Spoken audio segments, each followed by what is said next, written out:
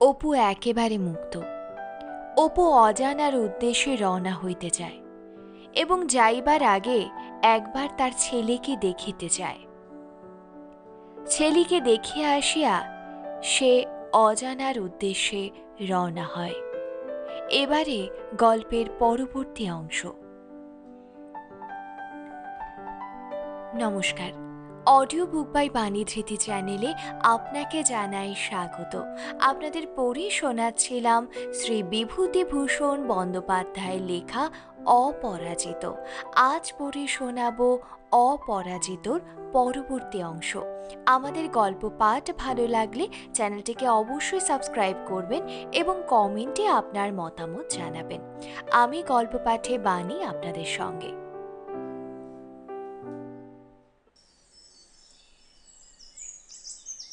সপ্তদশ পরিচ্ছেদ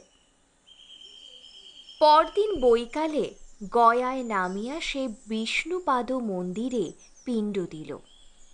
ভাবিল, আমি ওসব মানি বা না মানি, কিন্তু সবটুকু তো জানি নে যদি কিছু থাকে, বাপ মায়ের উপকারে লাগে। পিণ্ড দেবার সময় ভাবিয়া ভাবিয়া ছেলেবেলায় বা পরে যে যেখানে মারা গিয়াছে বলিয়া জানা ছিল তাহাদের সকলেরই উদ্দেশ্যে পিণ্ড দিল।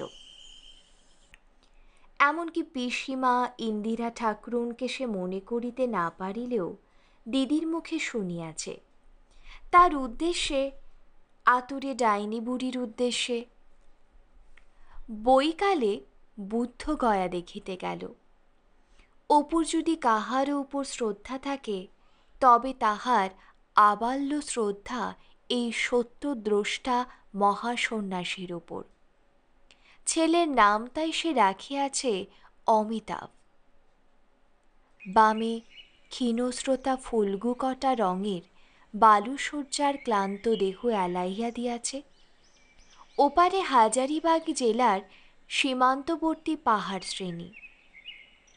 সারা পথে ভারী সুন্দর ছায়া। গাছপালা, পাখির ডাক ঠিক যেন বাংলাদেশ। সোজা বাঁধানো রাস্তাটি ফলগুর ধারে ধারে ডালপালার ছায়ায় ছায়ায় চলিয়াছে। সারা পথ অপু স্বপ্নাভিভূতের মতো এককার উপর বসিয়া রহিল। একজন হাল ফ্যাশনের কাপড় পরা তরুণী মহিলা ও সম্ভবত তাহার স্বামী মোটরে বুদ্ধ বুদ্ধগয়া হইতে ফিরিতেছিলেন। অপু ভাবিল হাজার হাজার বছর পরেও এ নতুন যুগের ছেলে মেয়ে প্রাচীনকালের সেই পীঠস্থানটি এমন সাগ্রহ দেখিতে আসিয়াছিল? মনে পড়ে সেই অপূর্ব রাত্রি, নবজাত শিশুর চাঁদমুখ, ছন্দক। গয়ার জঙ্গলে দিনের পর দিন সে কি কঠোর তপস্যা? কিন্তু এ মোটর গাড়ি?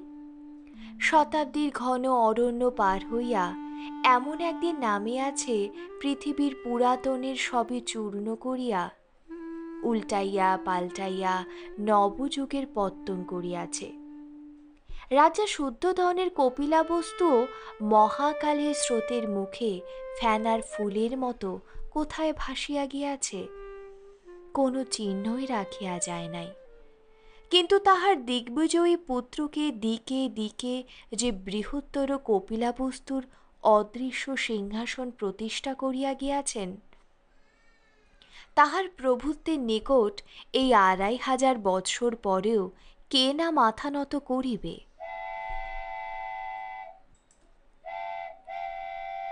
গয়া হইতে পরদিন সে দিল্লি এক্সপ্রেসে চাপিল একেবারে দিল্লির টিকিট কাটিয়া। পাশের বেঞ্চিতেই একজন বাঙালি ভদ্রলোক ও তাহার স্ত্রী যাইতেছিলেন। কথায় কথায় ভদ্রলোকটির সঙ্গে আলাপ হইয়া গেল। গাড়িতে আর কোনো বাঙালি নাই। কথাবার্তার সঙ্গী পাইয়া তিনি খুব খুশি। অপুর কিন্তু বেশি কথাবার্তা ভালো লাগিতেছিল না। এরা এ সময় এত বকবক করে কেন? মারোয়ারি দুটি শশারাম হইতে নিজেদের মধ্যে বকুনি শুরু করিয়াছে, মুখের আর বিরাম নাই।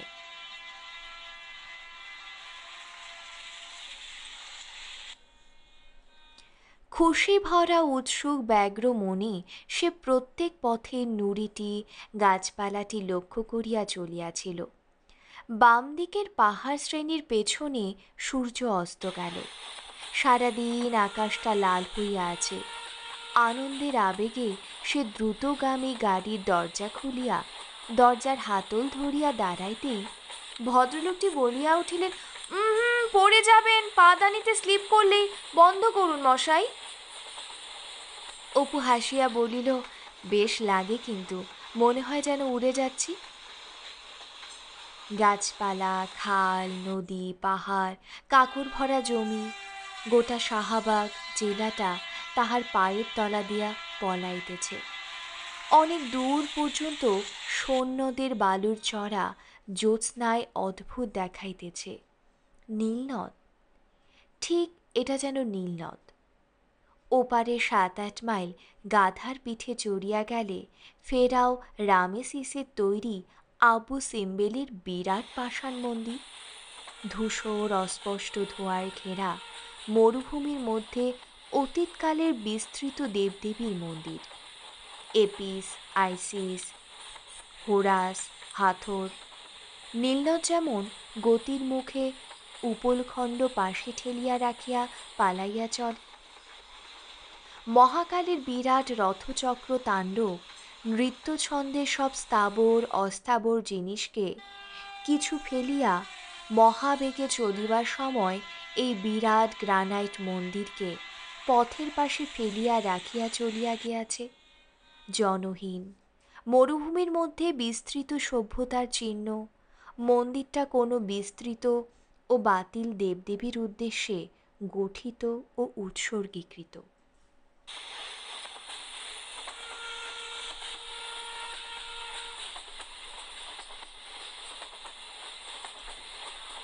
একটু রাত্রে ভদ্রলোকটি বলিলেন, এ লাইনে ভালো খাবার পাবেন না, আমার সঙ্গে খাবার আছে, আসুন খাওয়া যাক। তাহার স্ত্রী কলার পাতা চিরিয়া সকলকে বেঞ্চির উপর পাতিয়া দিলেন। লুচি, হালুয়া ও সন্দেশ সকলকে পরিবেশন করিলেন।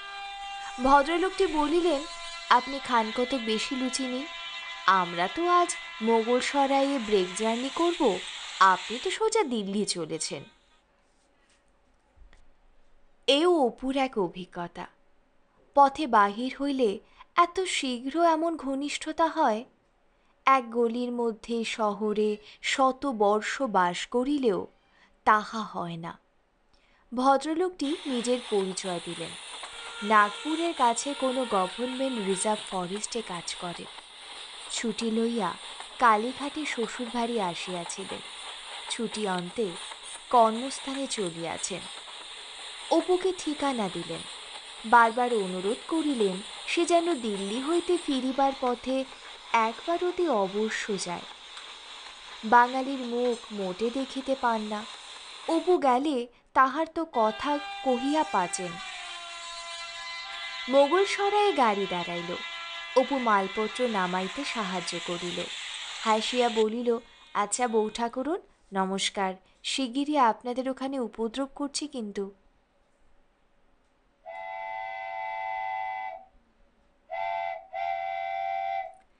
দিল্লিতে ট্রেন পৌঁছাইল রাত্রি সাড়ে এগারোটায়। গাজিয়াবাদ স্টেশন হইতেই সে বাহিরের দিকে ঝুঁকিয়া চাহিয়া দেখিল যে দিল্লিতে গাড়ি আসিতেছিল, তাহা এস কাপুর কোম্পানির দিল্লি নয়। লেজিসলেটিভ অ্যাসেম্বলির মেম্বারদের দিল্লি নয়। এশিয়াটিক পেট্রোলিয়াম এজেন্টের দিল্লি নয়। সে দিল্লি সম্পূর্ণ ভিন্ন। বহুকালের, বহু যুগের নরনারীদের মহাভারত হইতে শুরু করিয়া রাজসিংহ ও মাধবী কঙ্কন সমুদয় কবিতা, উপন্যাস, গল্প, নাটক, কল্পনা ও ইতিহাসের মালমশলায় তাহার প্রতি ইটখানা তৈরি। তার প্রতি ধূলিকণা, অপুর মনের রোমান্সের সকল নায়ক নায়িকার পূর্ণ পাদপ্লুত ভীষ্ম হইতে ঔরঙ্গজেব ও সদাশিব রাও পর্যন্ত গান্ধারী হইতে জাহানারা পর্যন্ত। সাধারণ দিল্লি হইতে সেই দিল্লির দূরত্ব অনেক। দিল্লি হনজ দূর অস্ত, বহু দূর, বহু শতাব্দীর দূর পারে। সে দিল্লি কেহ দেখে নাই।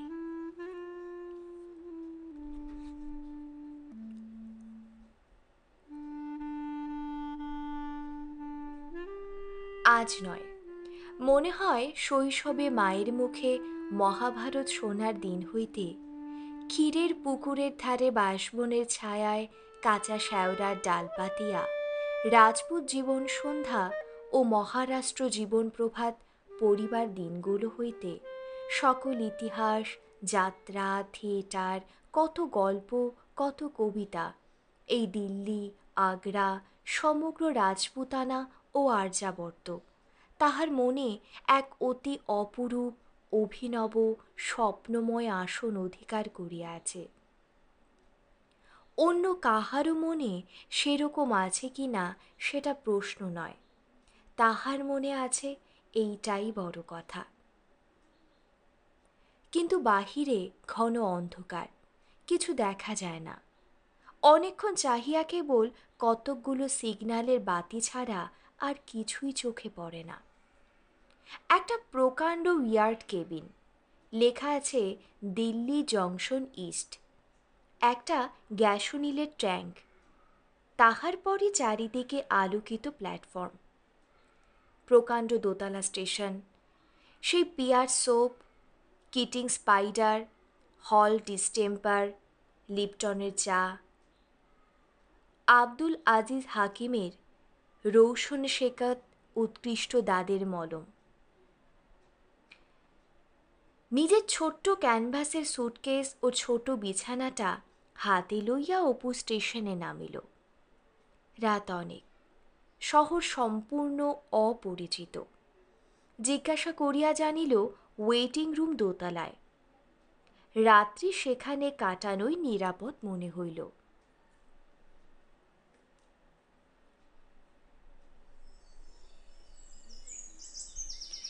সকালে উঠিয়া জিনিসপত্র স্টেশনে জমা দিয়া সে বাহিরে আসিয়া দাঁড়াইল।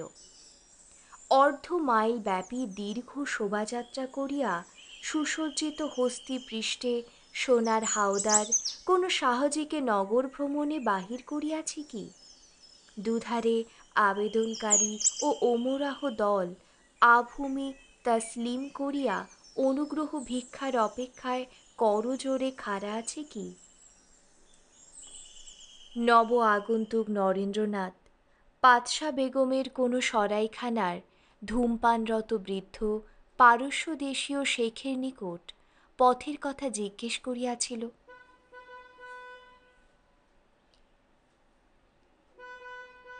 কিন্তু এ যে একেবারে কলিকাতার মতোই সব, এমনকি মনিলাল জুয়েলার্সের বিজ্ঞাপন পর্যন্ত, দুজন লোক কলকাতা হইতে বেড়াইতে আসিয়াছিল। টাঙা ভাড়া সস্তা পড়িবে বলিয়া তাহাকে তাহার সঙ্গে লইবার প্রস্তাব করিল। কুতুবের পথে একজন বলিল, মশাই আরও বার দুই দিল্লি এসেছি। কুতুবের মুরগির কাটলেট, আহ, সে যা জিনিস, খাননি কখনো? না, চলুন, এক ডজন কাটলেট অর্ডার দিয়ে তবে উঠব কুতুব মিনারে।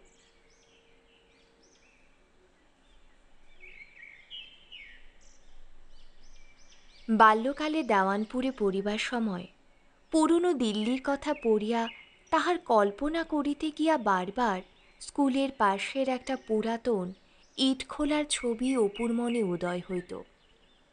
আজ অপু দেখিল, পুরাতন দিল্লি বাল্যে সেই ইটের পাজাটা নয়। কুতুব মিনার নতুন দিল্লি শহর হইতে সে এত দূর, তাহা সে ভাবে নাই।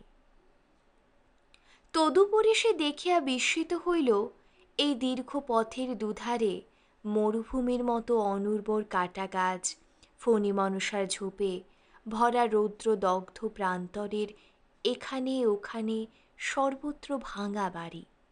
মিনার মসজিদ, কবর, খিলান, দেওয়াল। সাতটা প্রাচীন মৃত রাজধানীর মুখ কঙ্কাল পথের দুধারে উঁচু নিচু জমিতে বাবলা গাছ ও ক্যাকটাস গাছের ঝোপ।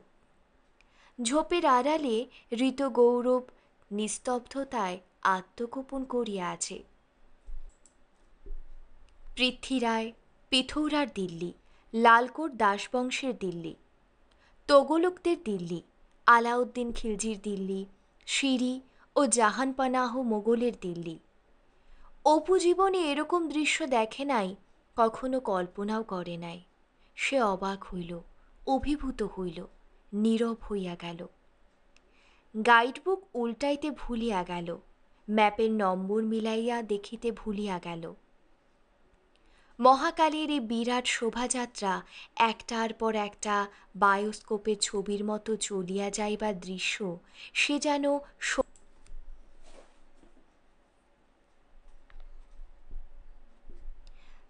আরও বিশেষ হইল এই জন্য যে মন তাহার নবীন আছে। কখনো কিছু দেখে নাই। চিরকাল আস্তাকুরের আবর্জনায় কাটাইয়াছে, অথচ মন হইয়া উঠিয়াছে সর্বগ্রাসী, বুভুক্ষ। তাই সে যাহা দেখিতেছিল, তাহা যেন বাহিরের চোখটা দিয়া নয়। সে কোনো তীক্ষ্ণদর্শী তৃতীয় নেত্র।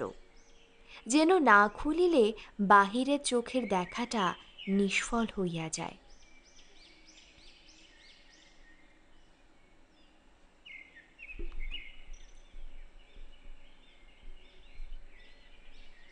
ঘুরিতে ঘুরিতে দুপুরের পর সে গেল কুতুব হইতে অনেক দূর।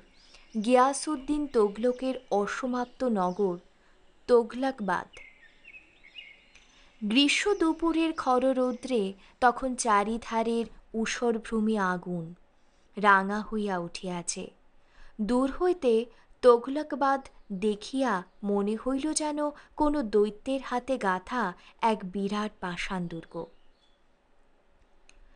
তৃণবিরল ঊষর ভূমি পত্রহীন বাবলা কণ্টকময় ক্যাকটাসের পটভূমিতে খর রৌদ্রে সে যেন এক বর্বর অসুর বীর্য সুউচ্চ পাষাণ দুর্গপ্রাচীর হইতে সিন্ধু, কাথিয়াবার, মালু, পাঞ্জাব সারা আর্যাবর্তকে ভ্রুকুটি করিয়া দাঁড়াইয়া আছে। কোনো সূক্ষ্ম কারুকার্যের প্রচেষ্টা নাই বটে, নিষ্ঠুর বটে, রুক্ষ বটে।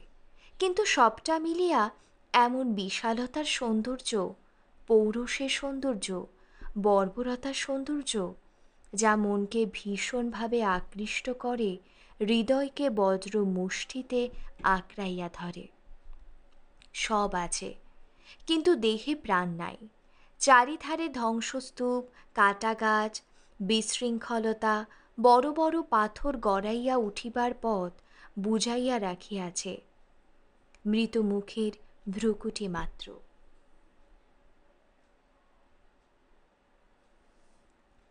সাধু নিজামুদ্দিনের অভিশাপ মনে পড়িল। ইয়ে বাস গুজার ইয়ে রাহে গুজার। পৃথ্বীরায়ের দুর্গের। চবুতরার ওপর যখন সে দাঁড়াইয়া, হি হি, কি মুশকিল, কি অদ্ভুতভাবে নিশ্চিন্দিপুরের সেই বনের ধারের ক্ষীরের পুকুরটা ও দুর্গের সঙ্গে জড়িত হইয়া আছে, বাল্যে তাহারি ধারে শ্যাওরা বনে বসিয়া জীবন প্রভাত পড়িতে পড়িতে কতবার কল্পনা করিত পৃথ্বীরায়ের দুর্গ ক্ষীরে পুকুরের উঁচু ওদিকের পাটটার মতো বুঝি। এখনও ছবিটা দেখতে পাইতেছে। কতগুলো গুগলি, শামুক, ওপারের বাঁশঝাড়, যাক। চবুতরার ওপর দাঁড়াইয়া থাকিতে থাকিতে দূর পশ্চিম আকাশের চারিধারের মহা শ্মশানের ওপর ধূসর ছায়া ফেলিয়া সাম্রাজ্যের উত্থান পতনের কাহিনী আকাশের পটে আগুনের অক্ষরে লিখিয়া সূর্য অস্ত গেল। সেসব অতি পবিত্র গোপনীয় মুহূর্ত অপুর জীবনে দেবতারা তখন কানে কানে কথা বলেন, তাহার জীবনে এইরূপ সূর্যাস্ত আর কটা বা আসিয়াছে? ভয় ও বিস্ময় দুই হইল, সারা গায়ে যেন কাটা দিয়া উঠিল, কি অপূর্ব অনুভূতি! জীবনের চক্রবাল নেমি এতদিন যে কত ছোট অপরিসর ছিল আজকার দিনটাই অপু তাহা জানিত না। নিজামুদ্দিন আউলিয়ার মসজিদ প্রাঙ্গণে সম্রাট দুহিতা জাহানারার তৃণাবৃত পবিত্র কবরের পার্শ্বে দাঁড়াইয়া মসজিদ দ্বারে কৃত দু চার পয়সার গোলাপ ফুল ছড়াইতে ছড়াইতে অপুর অশ্রু বাধা মানিল না। ঐশ্বর্যের মধ্যে, ক্ষমতার দম্ভের মধ্যে লালিত হইয়াও পুণ্যবতী শাহজাদির এ দীনতা, ভাবুকতা তাহার কল্পনাকে মুগ্ধ রাখিয়াছে চিরদিন। এখনও যেন বিশ্বাস হয় না যে সে এখানে দাঁড়াইয়া আছে। সেটা সত্যি জাহানারার কবর ভূমি পরে সে মসজিদ হইতে একজন পৌর মুসলমানকে ডাকিয়া আনিয়া কবরের শিরোদেশের মার্বেল ফলকের সেই বিখ্যাত ফার্সি কবিতাটি দেখাইয়া বলিল মেহরবানি করকে পড়িয়ে হাম লিখ লেঙ্গে পৌরটি কিঞ্চিত বকশিসের লোভে খামখেয়ালি বাঙালি বাবুটিকে খুশি করার জন্য জোরে জোরে পড়িল बिजुज गहे कसे न पुशात मजार इमारा कि कबर पोशे गरीबान হামিন মিহাগ বাস আস্ত পরে সে কবি আমির খসরুর কবরের উপরও ফুল ছড়াইল।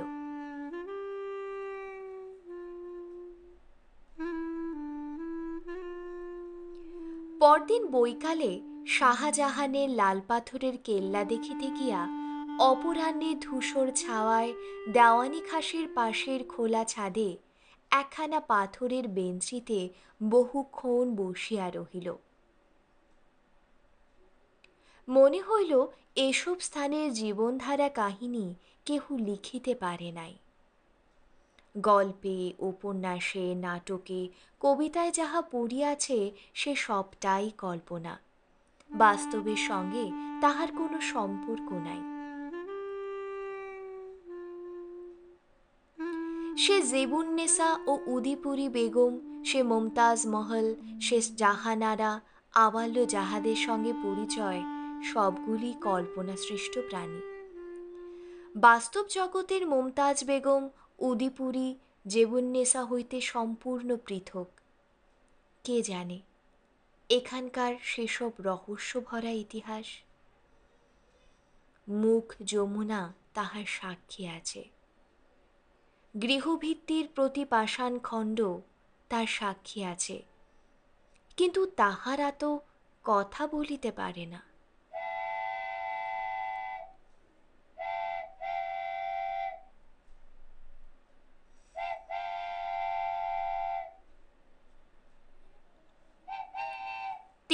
পরে সে বৈকালের দিনে কাটনি লাইনের একটি ছোট্ট স্টেশনে নিজের বিছানা ও সুটকেসটা লইয়া নামিয়া পড়িল।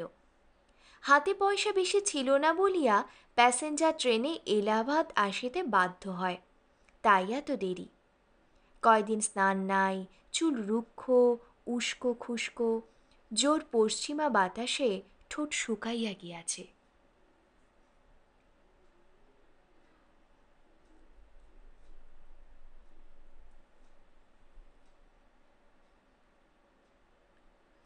ট্রেন ছাড়িয়া চলিয়া গেল, ক্ষুদ্র স্টেশন।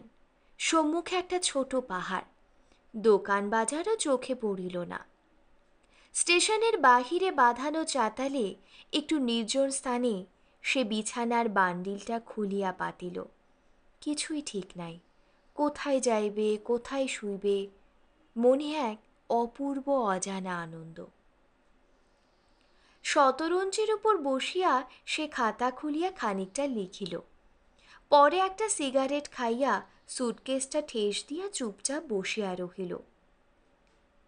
টোকা মাথায় একজন গোড়া যুবককে কাঁচা শালপাতার পাইপ খাইতে খাইতে কৌতূহলী চোখের কাছে আসিয়া দাঁড়াইতে দেখিয়া অপু বলিল, উমেরিয়া ইহাসে কিত্তা দূর হ্যাঁ? প্রথমবার লোকটা কথা বুঝিল না। দ্বিতীয়বার ভাগা হিন্দিতে বলিল, তিস মিল, ত্রিশ মাইল রাস্তা। এখন সে যায় কিসে? মহা মুশকিল। জিজ্ঞাসা করিয়া জানিল, ত্রিশ মাইল পথের দুধারে শুধু বন আর পাহাড়। কথাটা শুনিয়া অপুর ভারী আনন্দ হইল। বন রকম? খুব ঘন। বাঘ পর্যন্ত আছে। বাহ! কিন্তু এখন কি করিয়া যাওয়া যায়?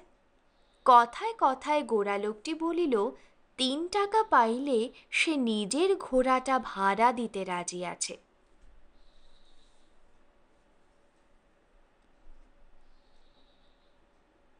অপু রাজি হইয়া ঘোড়া আনিতে বলাতে লোকটা বিস্মিত হইল। আর বেলা কতটুকু আছে? এখন কি জঙ্গলের পথে যাওয়া যায়? অপু নাছর বান্দা, সামনের এই সুন্দর জ্যোৎস্না ভরা রাত্রে জঙ্গলের পথে ঘোড়ায় চাপিয়া যাওয়ার একটা দুর্দমনীয় লোভ তাহাকে পাইয়া বসিল। জীবনে এই সুযোগ কটা আসে, এ কি ছাড়া যায়? গোড়া লোকটি জানাইল, আরও এক টাকা খোরাকি পাইলে সে তল্পি বহিতে রাজি আছে। সন্ধ্যার কিছু পূর্বে অপু ঘোড়ায় চড়িয়া রওনা হইল। পেছনে মোট মাথায় লোকটা।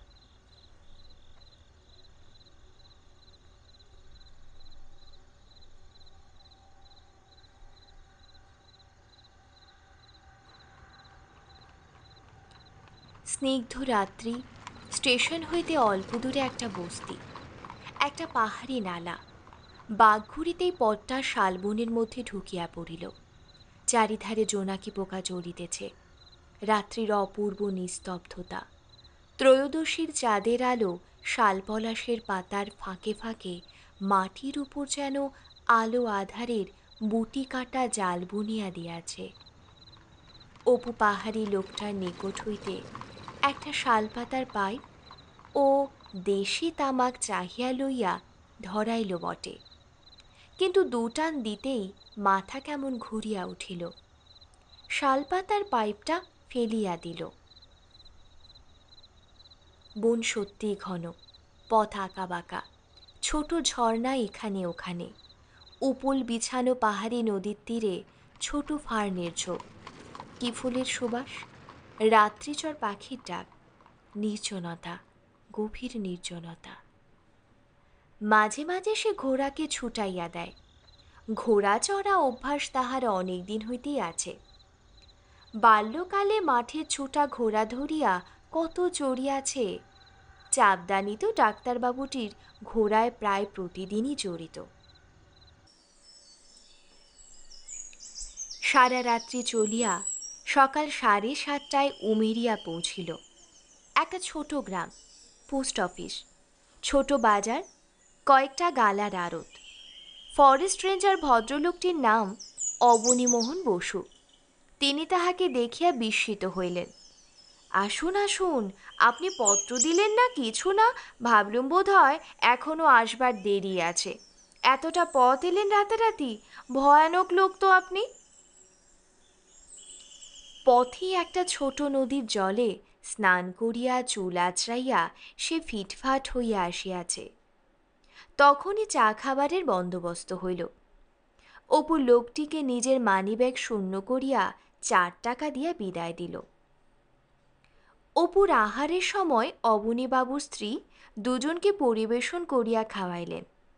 অপু হাসি মুখে বলিল, এখানে আপনাদের জ্বালাতন করতে এলুম বউ ঠাকুরন অবনীবাবুর স্ত্রী হাসিয়া বলিলেন, না এলে দুঃখিত হতাম।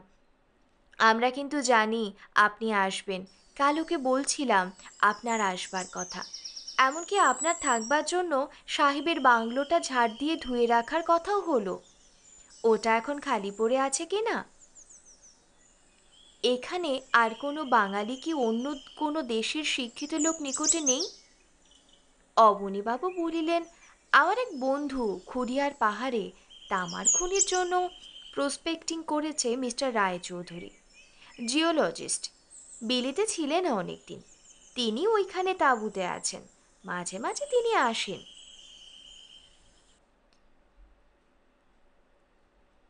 অল্প দিনেই ইহাদের সঙ্গে কেমন সহজ মধুর সম্বন্ধ গড়িয়া উঠিল। যাহা কেবল এইসব স্থানে, এইসব অবস্থাতেই সম্ভব। কৃত্রিম সামাজিকতার হুমকি এখানে মানুষের সঙ্গে মানুষের স্বাভাবিক বন্ধুত্বের দাবিকে ঘাড় গুজিয়া থাকিতে বাধ্য করে না বলিয়াই। একদিন বসিয়া বসিয়া সে খেয়ালের বসে কাগজে একটা কথকতার পালা লিখিয়া ফেলিল। সেদিন সকালে চা খাইবার সময় বলিল, দিদি আজ ওবেলা আমাদের একটা নতুন জিনিস শোনাব। অবনীবাবু স্ত্রীকে সে দিদি বলিতে শুরু করিয়াছে। তিনি সাগ্রহে বলিলেন, কি কি বলুন না? আপনি গান জানেন না? আমি অনেকদিন ওকে বলেছি, আপনি গান জানেন। গানও গাইব, কিন্তু একটা কথকতার পালা শোনাবো। আমার বাবার মুখে শোনা জড়ভরতের উপাখ্যান। দিদির মুখ আনন্দে উজ্জ্বল হইয়া উঠিল। তিনি হাসিয়া স্বামীকে কহিলেন, দেখলে গো, দেখো, বলিনি আমি, গলার স্বর অমন, নিশ্চয়ই জানেন। খাটল না কথা? দুপুরবেলা দিদি তাহাকে তাস খেলার জন্য পিড়াপিড়ি শুরু করিলেন। লেখা এখন থাক, তাস জোড়াটা না খেলে খেলে পোকায় কেটে দিলে, এখানে খেলার লোক মেলে না। যখন ওর বন্ধু মিস্টার রায়চৌধুরী আসেন, তখন মাঝে মাঝে খেলা হয়। আসুন আপনি, উনি আর আপনি। আর একজন, আর কোথায়? আমি আর আপনি বসবো। উনি একা দু হাতে নিয়ে খেলবেন? জ্যোৎস্না রাত্রে বাংলোর বারান্দাতে সে কথকথা আরম্ভ করিল। জড়ভরতের বাল্যজীবনের করুণ কাহিনী। নিজেরই জীবন স্মৃতির ছায়াপথে সত্য পুত হইয়া ওঠে। কাশীর দশাশ্বমেধ ঘাটে বাবার গলার স্বর কেমন করিয়া অলক্ষিতে তাহার গলায় আসে? শালবনের পত্র মর্মরে, নৈশ পাখির গানের মধ্যে, রাজর্ষি ভরতের সরল বৈরাগ্য ও নিস্পৃহ আনন্দ যেন প্রতি সুর মূর্ছনাকে একটি অতি পবিত্র মহিমাময় রূপ দিয়া দিল। কথকথা থামিলে সকলে চুপ করিয়া রহিল। অপু খানিকটা পর হাসিয়া বলিল, কেমন লাগল? অবনীবাবু একটু ধর্মপ্রাণ লোক। তাহার খুবই ভালো লাগিয়াছে। কথকতা দু একবার শুনিয়াছে বটে, কিন্তু এ কি জিনিস? ইহার কাছে সেসব কথা লাগে না। কিন্তু সকলে যে মুগ্ধ হইলেন অবনীবাবুর স্ত্রী। জ্যোৎস্না আলোতে তাহার চোখে ও কপলে অশ্রু চিকচিক করিতেছিল। অনেকক্ষণ তিনি কথা বলিলেন না। স্বদেশ হইতে দূরে এ নিঃসন্তান দম্পতির জীবনযাত্রা এখানে একেবারে বৈচিত্র্যহীন। বহুদিন এমন আনন্দ তাহাদের কেহ দেয় নাই। দিন দুই পরে অবনীবাবুর বন্ধু মিস্টার রায়চৌধুরী আসিলেন। ভারী মন খোলা ও অমায়ক ধরনের লোক। বয়স চল্লিশের কাছাকাছি। কানের পাশে চুলে পাক ধরিয়াছে। বলিষ্ঠ গঠন ও সুপুরুষ। একটু অতিরিক্ত মাত্রায় মদ খান। জব্বলপুর হইতে হুইস্কি আনাইয়াছেন কিরূপ কষ্ট স্বীকার করিয়া খানিক্ষণ তাহার বর্ণনা করিলেন। অবনীবাবু যে মদ খান, অপু তাহা ইতিপূর্বে জানিত না। মিস্টার রায়চৌধুরী অপুকে বলিলেন, আপনার গুণের কথা তো সব শুনলাম অপূর্বাবু। সে আপনাকে দেখেই আমার মনে হয়েছে।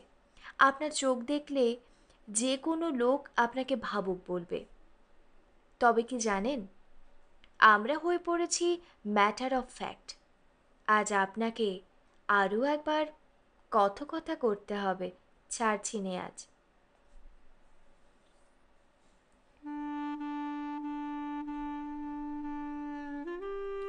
কথাবার্তায় গানে হাসি খুশিতে সেদিন প্রায় সারা রাত কাটিল। মিস্টার রায়চৌধুরী চলিয়া যাইবা দিন তিনেকের পর একজন চাপরাশি তাহার নিকট হইতে অপুর নামে একখানি চিঠি আনিল। তাহার উপরে একটা ড্রিলিং তাঁবুর তত্ত্বাবধানের জন্য একজন লোক দরকার। অপূর্ববাবু কি আসিতে রাজি আছেন? আপাতত মাসে পঞ্চাশ টাকা ও বাসস্থান। অপুর নিকট ইহা একেবারে অপ্রত্যাশিত। ভাবিয়া দেখিল, হাতে আনা দশেক পয়সা মাত্র অবশিষ্ট আছে। ইহারা অবশ্য যতই আত্মীয়তা দেখান, গান, কথকতা করিয়া চিরদিন তো এখানে কাটানো চলিবে না? আশ্চর্যের বিষয়, এতদিন কথাটা আদৌ তাহার মনে হয় নাই। মিস্টার রায়চৌধুরীর বাংলো প্রায় মাইল কুড়ি দূর। তিন দিন পরে ঘোড়া ও লোক আসিল।